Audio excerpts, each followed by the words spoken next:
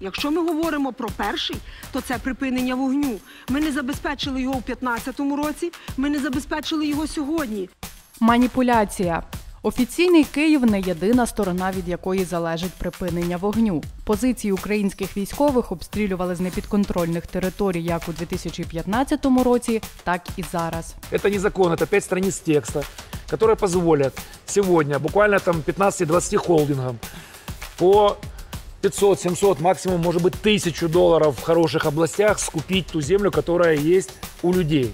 Неправда. По-перше, землю не обов'язково продавати. По-друге, за попередніми оцінками, гектар землі коштуватиме від 1500 до 2200 доларів. Крім того, на купівлю землі є обмеження. Зокрема, одна юридична особа не може володіти більш як 35% земель однієї ОТГ чи більш як 8% області.